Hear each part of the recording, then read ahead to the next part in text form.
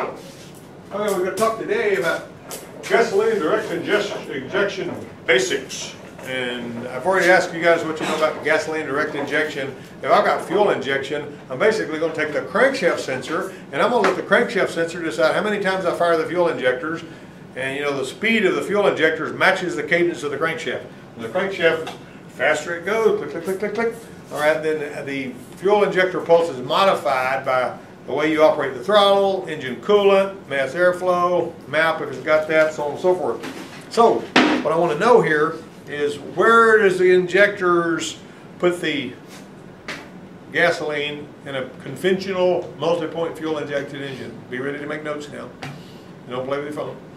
Why is it everybody sits in that chair always plays with their phone? I don't get that. But uh, what about it? Where does it squirt? Where does the injector squirt the fuel on a conventional MPI engine? And the intake. In the intake right behind the intake valve. And it's stored there for just a second. And uh, so we've actually, all right, now your old throttle body injection is a wet intake, so it sprays it above the throttle plate, and it's just kind of like a carburetor. So the throttle body injection and a carburetor are sort of interchangeable and all that. And everything that you could look at in an engine as far as the basic engine part of it, is going to be the same all the way from carburetors all the way down to multi-point fuel injection because nothing has to change a whole heck of a lot because it's all coming out of the intake past the intake valve. On this one here, the amount of fuel is determined by engine operating conditions, and this is a map. This is basically a fuel map. It's like a multi-dimensional spreadsheet and all those little cells right there, each one of them, it says when all of these conditions come together, this is how much fuel I'm going to put, this is what kind of spark time I'm going to have, this is what I'm going to purge the canister or not. All of that in that little cell. It's like dealing a deck of cards, and you got to know exactly which card to give the guy every time the conditions are met.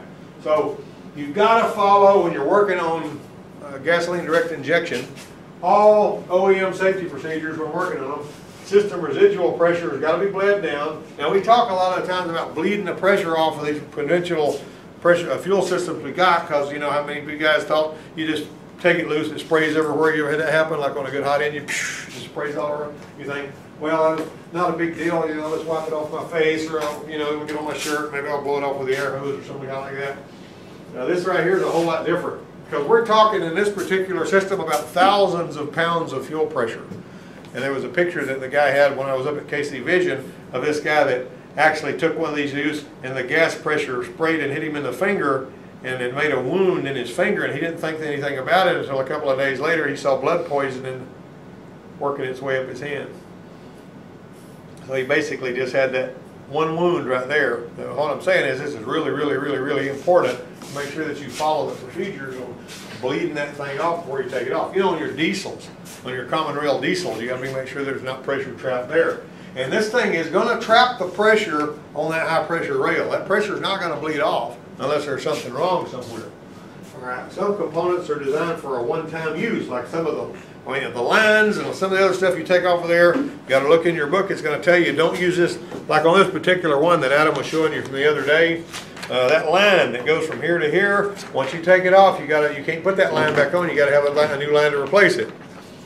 Okay, torque values are really important because you don't just tighten it up if you had a VI8 and all that. Yeah, yeah, you know, got to make sure that you get it the right way.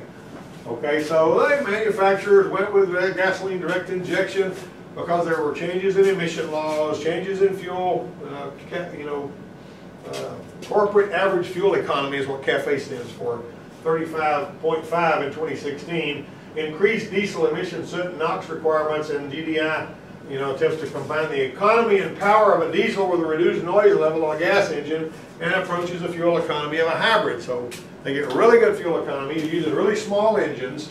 And let's see if we can make this little video play here. It's real short, doesn't take but a second to play it. All right, now this is basically you're looking at, that's gasoline direct injection right there. All right, you notice that the fuel is playing directly into the cylinder, not behind the intake. Well, that was the wind blowing that, okay. Well, you can see that happening there. All right. Okay. Come on.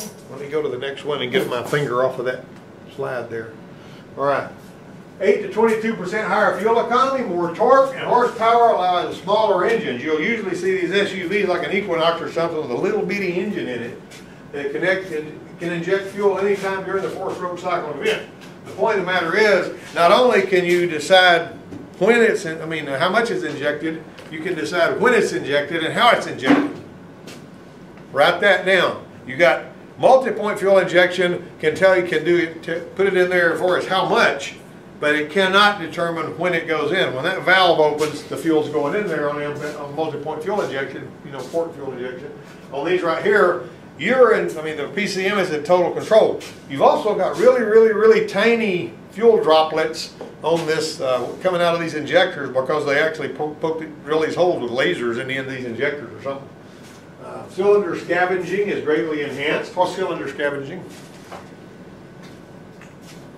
I know you guys aren't engineers, but tell me what cylinder scavenging is. What, how do we scavenge the cylinders on a conventional engine? You understand suck, squeeze, blang, blow? What do you do to get rid of the last little bit of exhaust gas that may be hanging around at the end of the exhaust stroke? While the exhaust valve is still open, we begin to open the intake valve, and that is called overlap. And as that intake stream starts to pour in there, it's gonna push all the rest of that exhaust out, and then your, the exhaust valve, as it's closing, the intake valve begins to open. As a matter of fact, you can, if you can see the valves, you can find top dead center exhaust by looking at the overlap. If you watch it, whenever this intake valve just starts to open, when the exhaust valve is still open a little bit on most engines, you can find the top dead center exhaust stroke with that. Cylinder scavenging is enhanced, compression ratios can be higher. A lot of these engines have got a 14 to 1 compression ratio. And compression ratio on a conventional gas engine is, you know, maybe 8 to 9 to 1, something like that.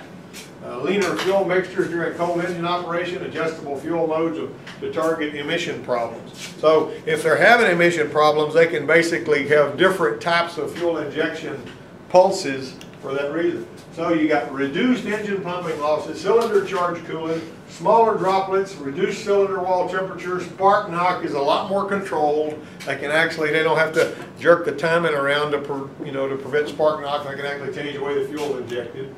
All right, so you got all these changes in the fuel delivery and control systems.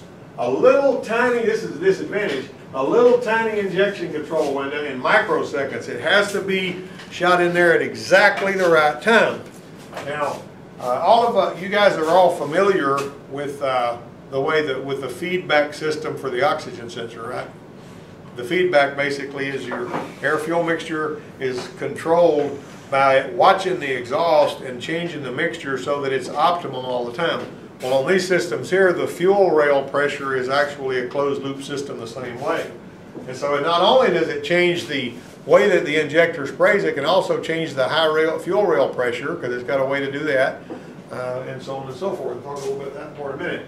So you got more levels of soot and carbon formation due to lower intake temperatures and exhaust inversion, and increased electrical power demands for the injectors. These injectors typically, and this is a sort of a general statement, they fire on about 50 volts.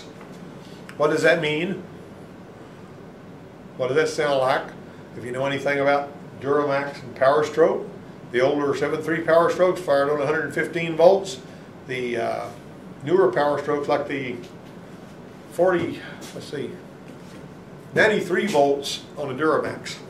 That's what they were using. And then it was like 47 volts on the 6 liter and the voltage is all up around there. So why do we need so much voltage? Open it for longer, spring fuel. It's got to happen quick.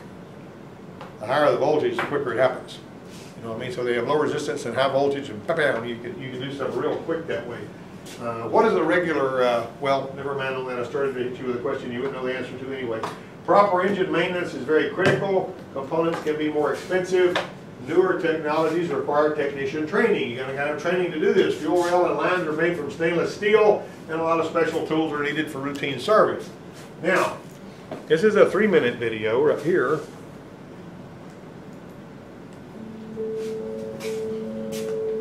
I'll give you a little Small, powerful, and extremely efficient. These are the main attributes of the all-new engine from Ford.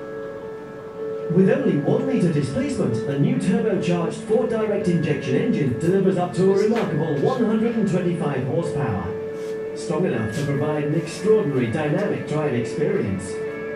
The customer receives the benefit of high performance and the low fuel consumption at the same time thanks to a variety of innovations. The Ford engineers have developed a split cooling system which enables a much faster heating of the cooling liquid by bypassing the cylinder block in the cold start phase. This leads to less friction in the engine, less fuel consumption, and less exhaust emissions when the engine is still cold. The camshaft is operated via a drive belt immersed in oil. The effect again, reduced friction, leading to fuel savings. Variable valve timing optimizes the gas flow through the combustion chamber at all engine speeds, in particular at part load and at full torque. It also enables the so-called scavenging process, whenever the intake as well as the exhaust valves are open at the same time. During this process, the combustion gases are flushed out. In addition, it benefits the turbocharger being stimulated by the airflow. The direct injectors of the second generation direct injection system are located centrally to provide a much cooler and denser fuel to air ratio, independent of the piston's geometry. This leads to a more efficient combustion and reduces fuel consumption. The direct injection enables multiple injections per combustion cycle so that the injection can be adapted to the effective requirements. The Ford engineers have designed an all-new exhaust manifold which is now integrated into the cylinder head.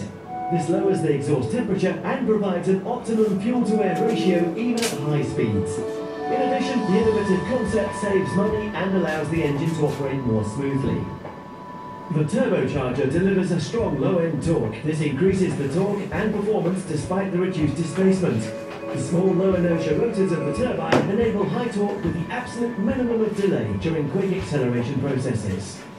The optimized offset crankshaft now produces less friction and also contributes to increasing efficiency. Implemented for the first time, the two-stage variable displacement oil pump ensures that the engine runs at the optimum oil pressure in the entire speed range.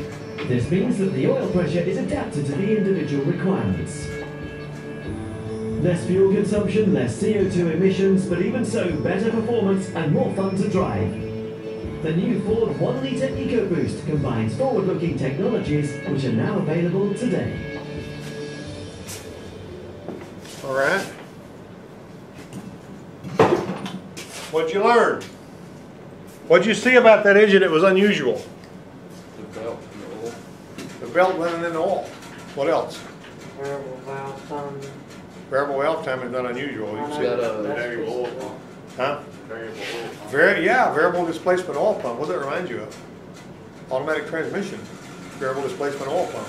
As that thing moves over, the oil pump's got more or less capacity to move the oil, and it's actually matched to the oil demands on that. So I've never seen that on any engine before, or as an oil pump, variable displacement oil pump. What, uh, there's some other little blurbs here I got on that. We got a three liter, a three cylinder, one liter engine generating 125 horsepower. Did you see companion cylinders on that?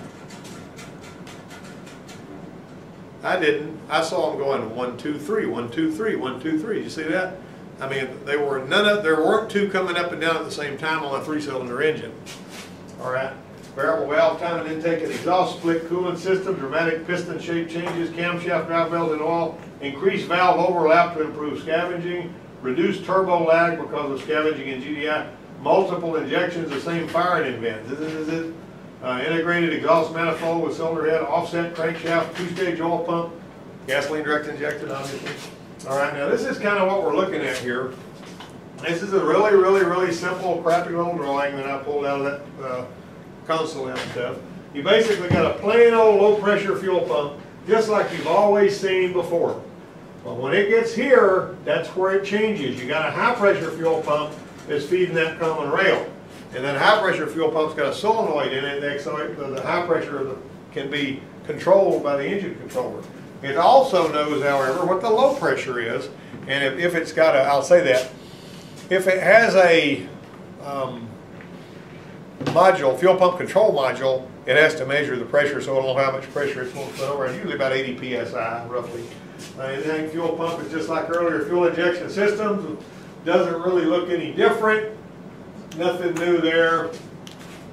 All right, the same as port systems, various quick connect fitting made from nylon, plastic, other materials. This is a low pressure system. It's, there's nothing, nothing mysterious about that at all, unless you got a fuel control module. Then you can take a scan tool, look at the fuel control module, compare the, the fuel target to what it actually is, and you can tell what's going on. You can tell how much current is sent into the pump and all that.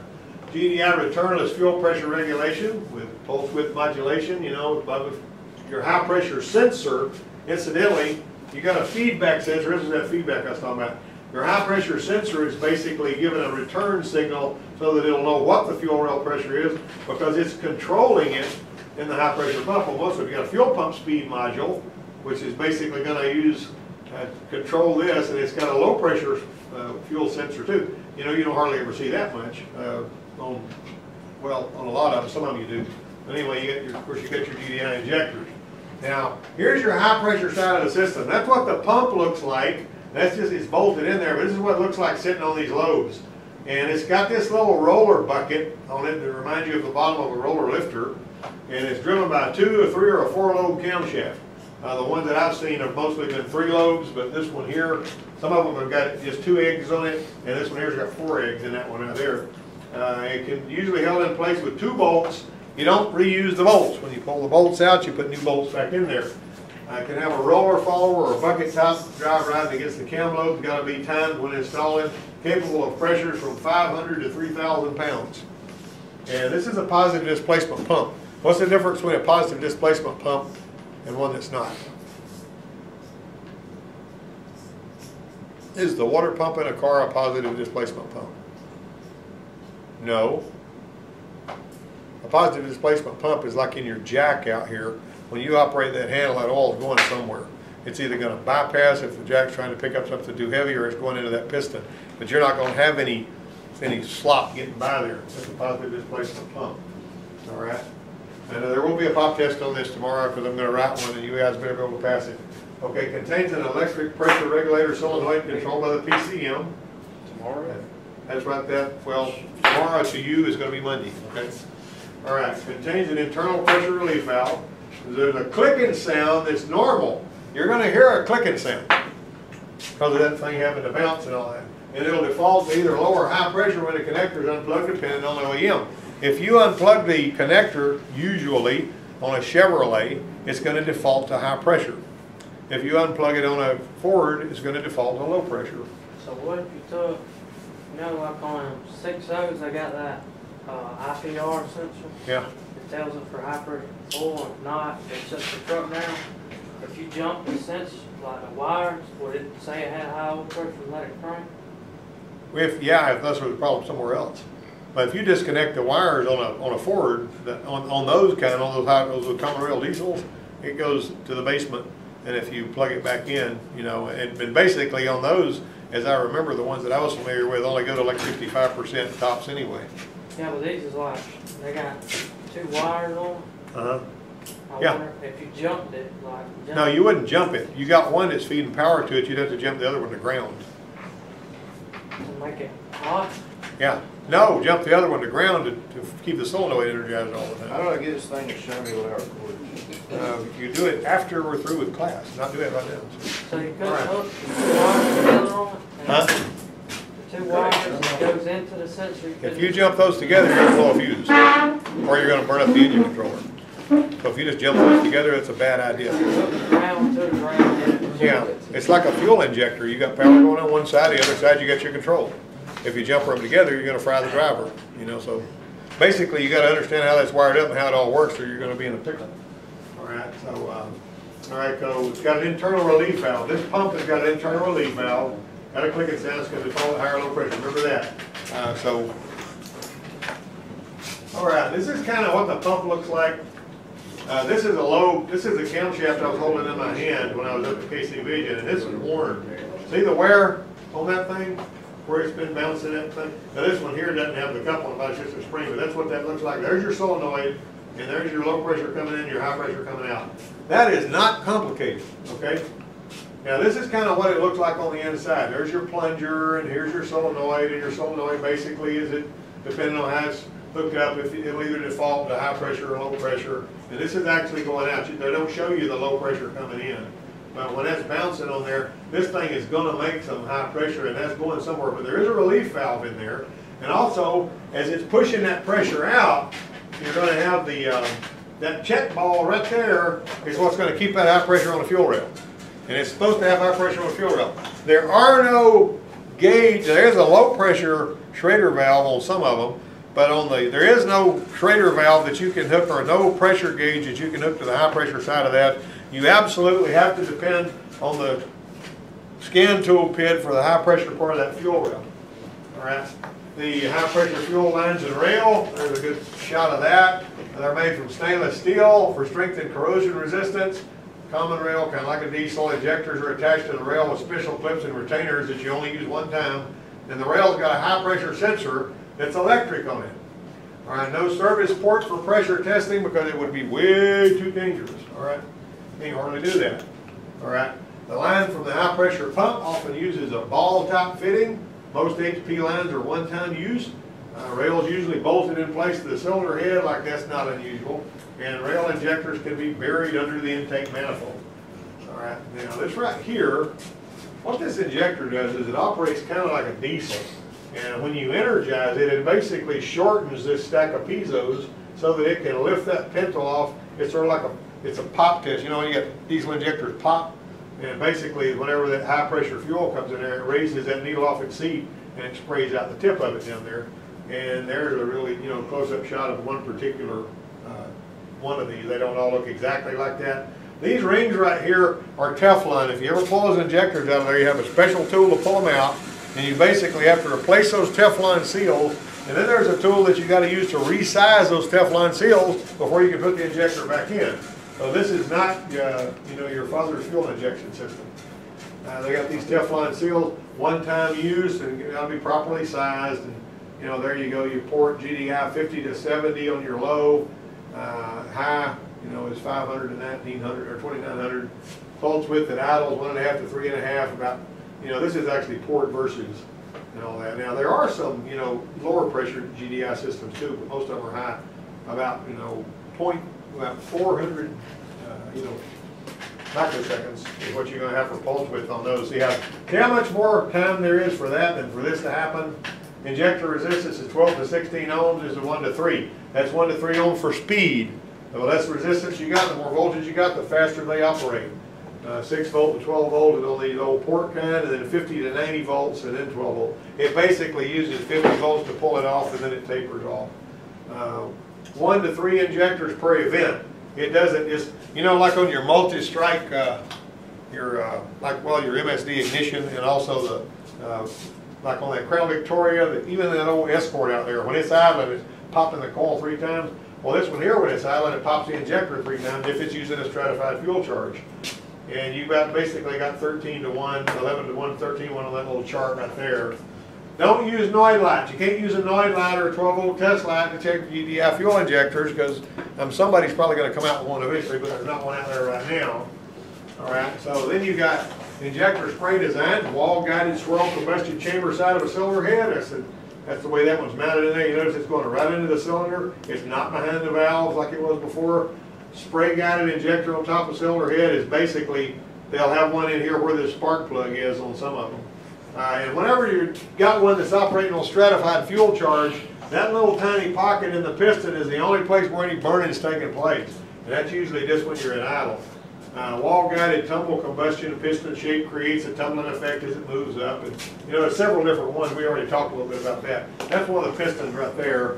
Many GDI engines got a special shaped piston top to create desired turbulence for concentration of the fuel. Right in that area right there is where the stratified charge is lighting off. If it's, if it's doing, stratified means pop, pop, pop, pop, you know, talk about that in a minute. GDI combustion operating modes, homogeneous, homogeneous lean, homogeneous ultra lean, stratified, wide open throttle, and clear flood. Clear flood's when you put your foot all the way on the gas, it shuts the injectors off. And when you're starting it, all right, and uh, there's a little GDI illustration there. And you know, you basic, that's the one that's coming straight into the middle. Uh, and the spark plug's in a different spot. Uh, definition of homogeneous is a mixture that has uniform composition and properties throughout, like homogeneous milk. Basically, if milk's been homogenized, it's not gonna have cream at the top and the other milk at the bottom. All right? You can take a teaspoonful of table salt and stir it into a glass of water, makes a homogeneous mix. And all previous carb, TBI, and port systems used homogeneous mixtures. That's not a new thing, it's an old thing. But stratified charge may be defined as one in which fuel is injected in combustion chamber during the end of the compression stroke and just before the burn-in of the charge. Not all GDI engines use stratified injection. Remember that.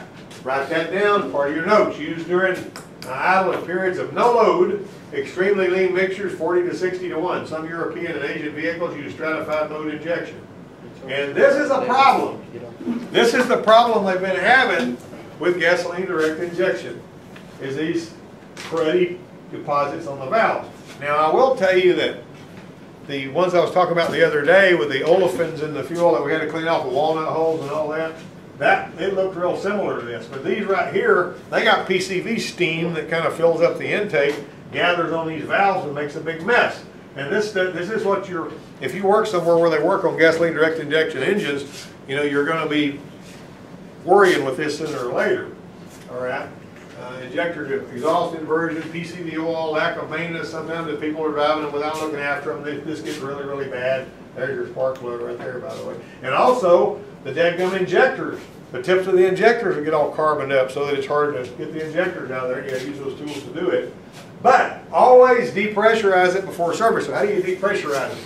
You can remove the fuel pump relay and run the engine until it stalls. When I say the fuel pump relay, man, the one that's operating the low pressure pump, if it's got no low pressure coming in, it'll use up all the high pressure fuel and no more will replace it. But you better be looking at your scan tool to see what the high pressure fuel rail pressure is and make doggone sure that it's gone before you ever break that line loose because it may spray on your hand. Just to make sure, what you need to do is throw a rag all around that fitting down there, put you a wrench on it, and when you break it loose, make sure that if any fuel sprays out, it hits that rag and don't hit you. You got it? Raise your head, Dustin. Yeah, but if it's got that much Oh, pressure. huh? One, if it's got that much pressure on it, blow a hole in the line. It might, but a real hole in the rag's better than holding your finger, mm-hmm. right? You know, I wouldn't mind it, but, you know, oh, my shop rag, it's ruined. What are you thinking? Okay, I mean, I'm gonna put the, I ain't gonna hold my hand on the rag.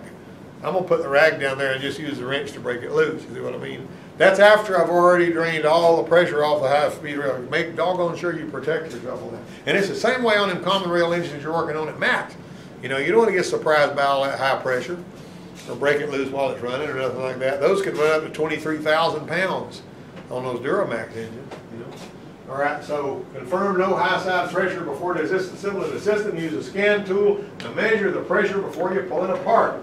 So the low pressure system's about the same as port fuel systems. You got filters and stuff like that in there, you know. And always look for technical service bulletins and that apostrophe shouldn't be there, uh, prior to service. Uh, the more common high pressure side service procedures, replacing the high pressure pump. That is a common failure because that is, you know what I always said, my rule of thumb is the part that's working the hardest and is in the most hostile environment is the part that's most likely to fail. And in this particular case, it's that. The follower, the bucket, or that rides on top of that load, it's bad to fail. Remove the fuel rail with the injector, it often requires special tools. Replace the injector, it includes the sizing of the Teflon seals. Can't reuse them, replacing injectors also require new retaining clips, O-rings and all that. When you replace the injectors, they'll come with all, you can buy little seal packs and all that kind of thing for. Replace the, uh, the high pressure side service procedures. The high pressure sensor be a simple R and R. After you depressurize, you just follow your procedures. Make sure you depressurize because it's in that high pressure fuel. Decarbonizing intake manifold and injector cleaning. There's all sorts of stuff BG's coming up with so that you can try to do that. But if it gets bad enough, you just got to pull the intake off and clean it. Uh, remember the HP, the high pressure connecting line from the pump to the rails is a one-time component. You got to replace that whenever you pull it off of there. And if you were looking at scan tool, I'm not going to spend a lot of time on that. See, let's say that you got your fuel rail pressure sensor right there. What's 35.86 bar? How much is one bar? And don't say it's $300 if you want to put one in your grand room. You know what I mean? 14 and a half pounds per square inch is a bar.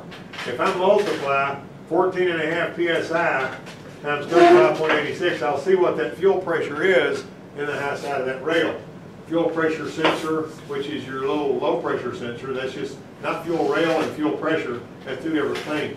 And then again, you can look at the voltage there and all that. This is just a little bit. Sometimes you can basically have a two-way talk and scan tool and you can tell things to happen. So you can check and see if you're, you can increase the pressure and see if it can